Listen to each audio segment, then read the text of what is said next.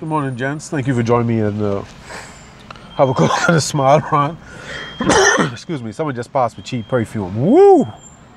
My God, smell like cat piss and fire. Anyway, I'm about to leave.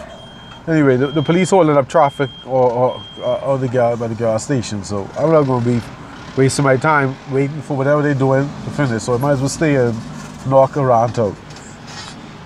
Now, this this run is about empty vessels. Excuse me. While the gas station looking for um, the fuel injector cleaner, was subject to the conversation of fools. I'm like, oh my god. Gentlemen, this is why the Empress Club, education, reading, common sense is stress. Now, don't get me wrong. Now, education is good, but then you must also employ judgment, use your and your common sense. But, gentlemen, excuse me. The reason why you go to school to get an education is to give your mind more and more advanced food as you, you age. You know, every grade you're supposed to learn more and more and more.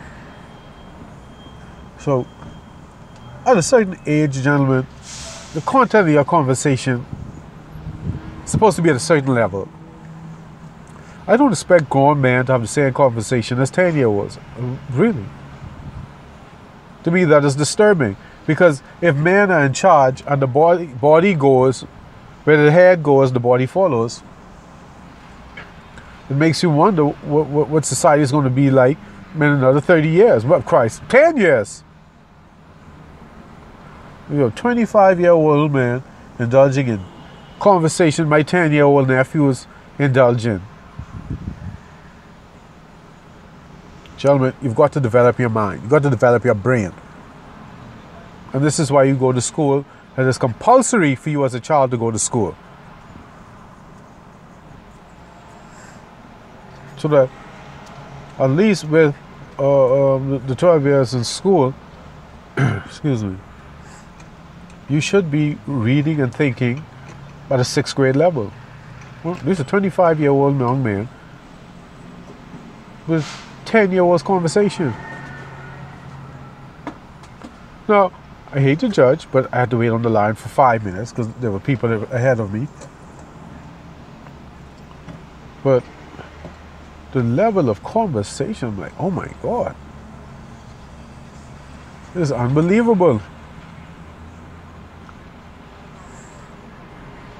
Uh, I, I know I said, I don't know if I did or but don't judge people. But yes, you do judge people.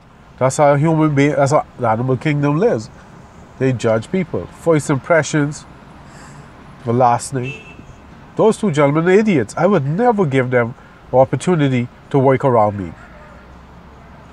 See, because Jesus said it, from out of the abundance of the heart doeth the mouth speak.